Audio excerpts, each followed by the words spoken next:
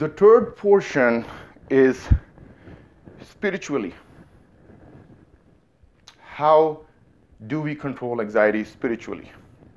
Now, again, coming back to the uh, original topic, what causes us anxiety, right?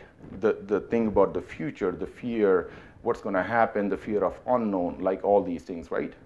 So we have to think about whenever we get these, these we get, it get, things starts getting really crazy, whenever we get really anxious, whenever we find ourselves in those situations, we have to understand that we have a purpose. We in this world are the chosen ones, right? We didn't have to be here, it could be anything, right? But we are the chosen ones, so there is definitely a purpose for us. We are blessed with so many things the ability to walk, the ability to see things, the ability to taste, the ability to smell, the ability to touch.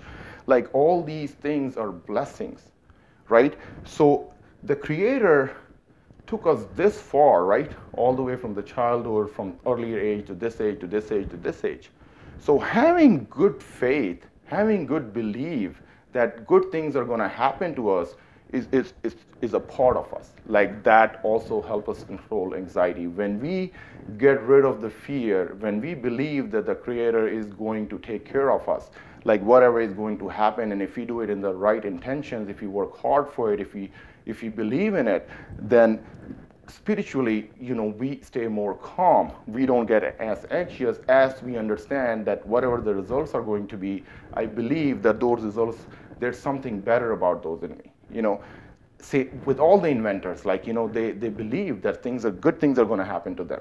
You have to, we have to spiritually believe in that. Like what, that the higher authority is watching us. Like he is going to take care of us, irrelevant of you know, where we live, who we are, how we do things. So we are each of us is a unique person. We all have a purpose. So spiritually is we can control anxiety by actually having a belief that good things are going to happen to us instead of worrying about the future, what is going to happen, what is going to happen. If we came this far and we had all these achievements and we are became so successful, I promise you good things are going to keep on happening in the future as well.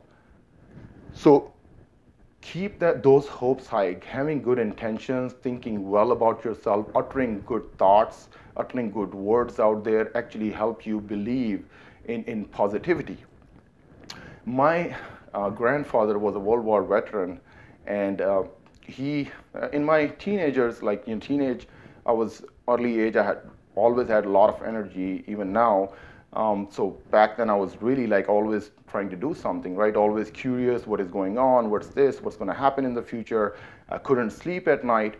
So me and him used to communicate um, um, through letters. Um, when I will see him, we'll, co- uh, we'll communicate directly. So I basically, uh, I uttered, you know, this problem to him. I told him that this is what happens to me. I can't sleep at night. I'm so anxious. So he told me something. He was like, "Your you have things in your unconscious mind that more than likely your conscious mind is not accepting. When that happens, and he gave me Freud's example, I guess it's one of his uh, uh, theories that, that he came with, and he's, uh, you know, when your conscious mind is not accepting what's in your unconscious mind, and we are not aware of it, what is bothering us, it causes us anxiety. We can't pull it out. We don't know what's going to happen in the future. We can only hope for best. So what we need to do at those points, what he told me, he's like, you need to calm your heart down. You have to believe that good things are going to happen. He's like, repeat that to yourself out loud, that good things are going to happen to me. Good things are going to happen to me. Good things are going to happen to me.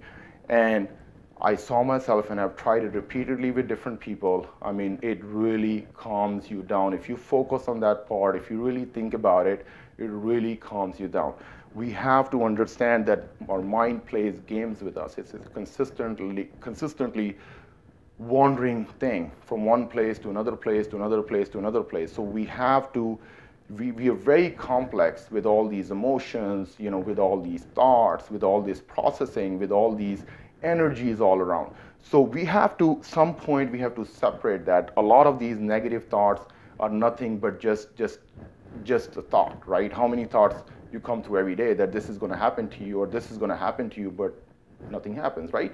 Now, consistently, if you dwell about it, if you like, if you consistently talk about it, that this might happen to you, this might happen to you, there's a high probability that will happen to you. So spiritually we have to believe in higher authority that everything is going to get better it's, it's for from where we started to where we are going just keep our intentions good and and keep faith believe everything is going to get better if we are all the way till this point so again so successful good things are going to happen to us in the future as well so that's a part of spiritual like how we control our uh, anxiety. Um, this is more of, these were more of general points talking about all these uh, things, how you can do mentally exercises, physically active, and then spiritually you can believe. Uh, if you guys have any questions, uh, we will discuss further. Uh, please send me your questions. You guys can follow me always on Instagram um, at Alwayz Strong. You can follow me on my YouTube channel, Waheed Khan. Um, you can follow me on my Facebook page as well, Waheed Khan and Alwayz Strong. Um, send me a message, uh, text me with any questions. I'll love to talk to you guys.